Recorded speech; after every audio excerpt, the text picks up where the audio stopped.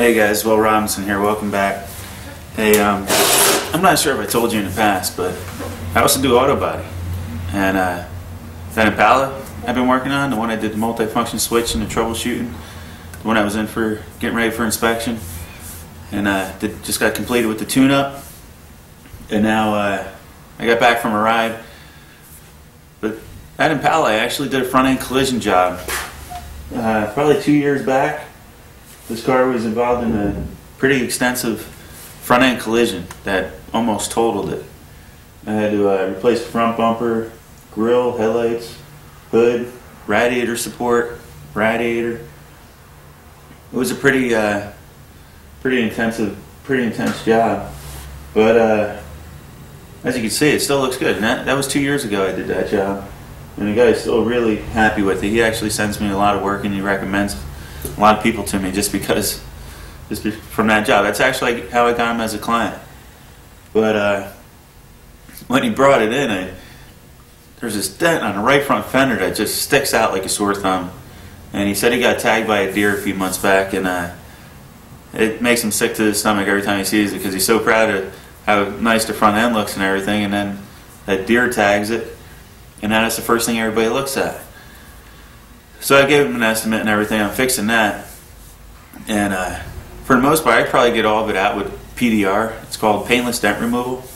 PDR short. And uh, that's something I took a class for years back.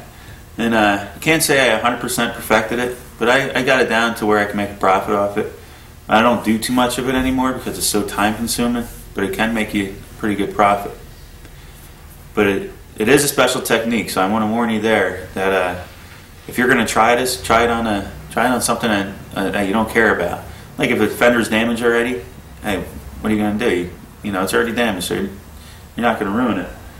But uh, it is very time consuming. You got to have patience, and that's why it's not for everybody.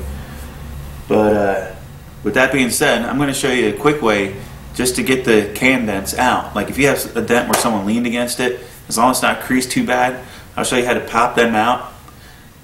You might have to get behind it and just work the back side of the dent a little bit so it doesn't pop back in on you.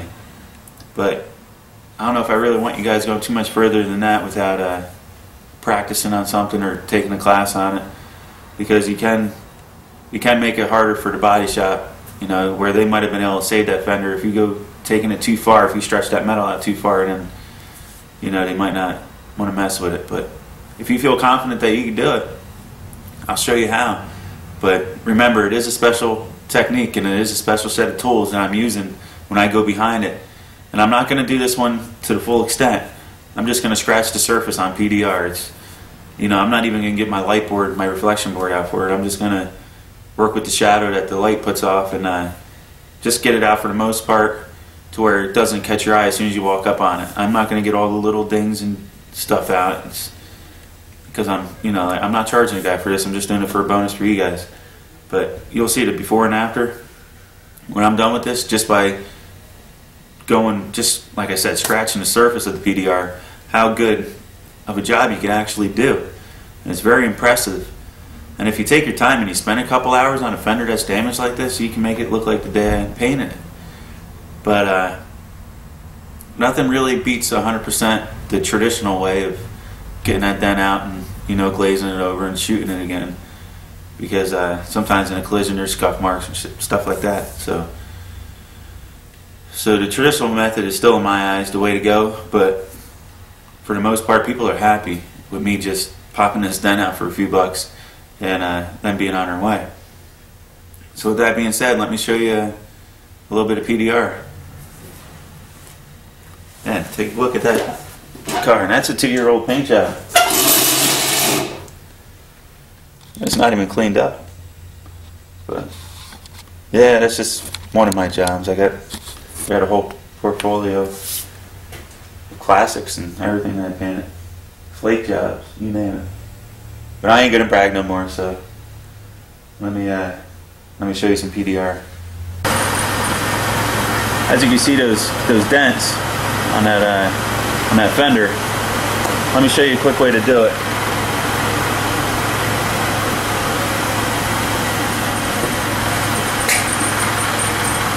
Okay, I'm going to start off with a, I got a suction cup. These, uh, these are used a lot in glass applications like removing windshields.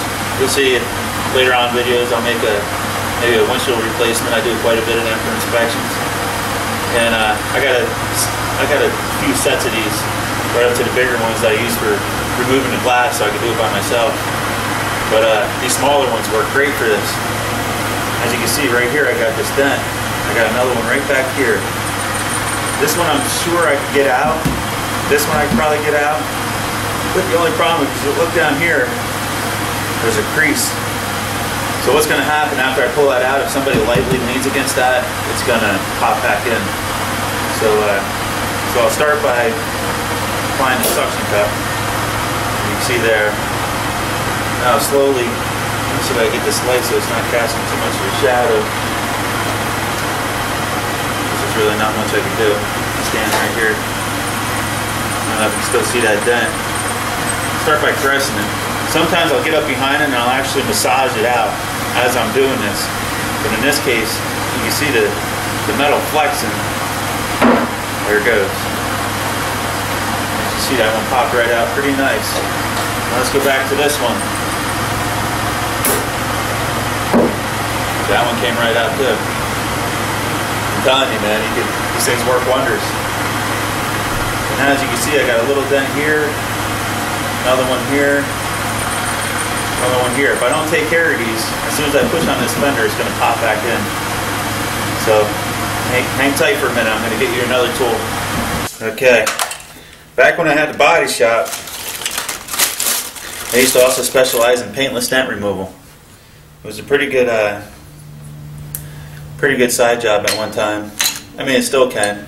It's tedious and it takes a lot of time, so I'm not going to go too far into into the PDR part of this, but uh, I will give you a quick shot of how to get them out real fast because when you get into PDR, paintless dent removal, in order to get them perfect, there's a, a technique to it, and I actually went to school for it, and uh, that would consist of me setting up a reflection board. And what that reflection board would do would cast a shadow. And wherever there's a dent, you know, I'm just going to use this extension as an example. It would cast a shadow. I'm not sure if you can see it from there. But wherever there's a dent, it'll distort the reflection. So what I'd do, I'd set up my reflection board to where that that uh, we're showing up that distortion really good. And I get behind there with one of these tools. As you can see, I got, there's a, quite a few of them. Here, let me just pick one out of here. Here's one. This is a ball style point. And what I do to gain access, I'd get behind there with this tool. While that reflection's there, I'm looking at the, the where it's distorted. And I get up in there behind her and I just massage the back of that dent. And I start, and it takes it. It's real tedious, time consuming. And since I'm not charging this guy, and uh, I'm just doing this for a bonus for this video, you can make this fender, since the paint's not too badly messed up, except for this one spot where it's scraped. It um, if it wasn't for that, I can make this thing look just like the day I, I repainted it. But it would take me a couple hours to get all these dents out because it, it's really time consuming. So for now, I'm going to show you a quicker method. And that's going to, you're going to need a hot glue gun. And you can use one of these uh, Pop-A-Dent systems. I'm not sure if you've ever seen that. But this comes with a, a little adapter here. What you do, you put hot glue on it. And then you stick it right onto that dent and you take this Pop-A-Dent and screw it in until it pops. I got a little bit of more of an advanced setup, but uh, I'll show you mine. But these work good too, and I use that one a lot. And it was just a cheap set, and that thing's paid for itself time and time again. But uh, let me get out, let me heat up this glue gun, and uh, show you how I do it. Okay, for most of you, pulling it out with the suction cup might be good enough. And then just as long as somebody don't lean on it, it'll be all right. But it's still a little wavy. It's just, uh, I just know I can do a lot better than that real quick. Because uh, let me show you. One little hit, those dents come right back. So, uh, I'm going to show you my other method of pulling these out. And this other way will actually won't allow the can back in so quick. The reason this cans is because there's a kink right here, and there's a dent right here. So it's always going to lead back to that to that one dent, and it's going to allow that to can. So if someone just just leans against your car, it's going to push back in.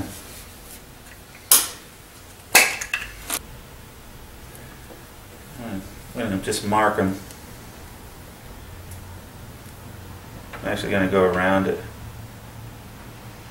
I don't want my hot glue to not stick to the crayon. Once I pop this one back out, I think there's another one right here. But that one's leaving too. And this one I might have to punch down because it might even actually be high. Definitely right here, this one here I got to punch down and up. Okay.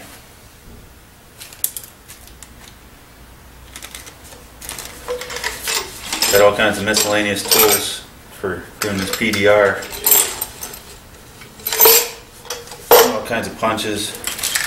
These are actually for taking out high spots. I find that high spot and tap it. tap that up. I should tap that one up right away. By tapping this up.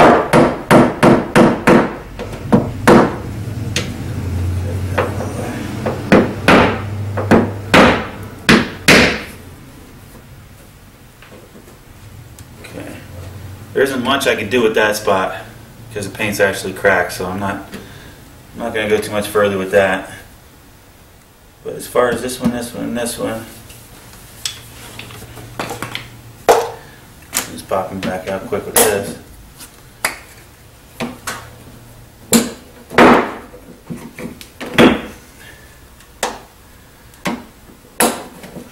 That one's already out. Okay.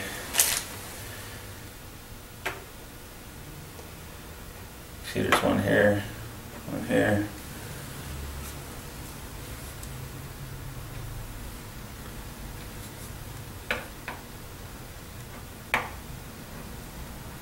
Right about here. I'm not being anal about this one. I just just making a quick vid for you guys.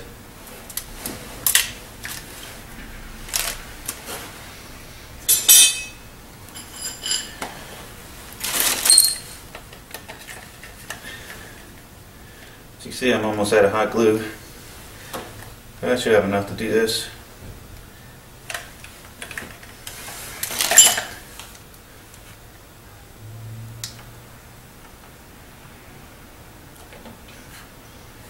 So I'm like that.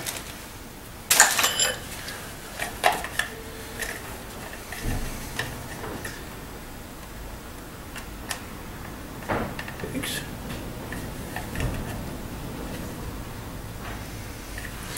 Pretty quick with this stuff.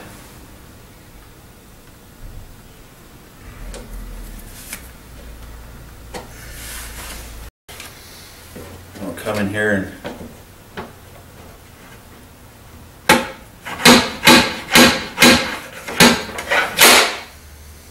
this should give you a quick uh, demonstration on that one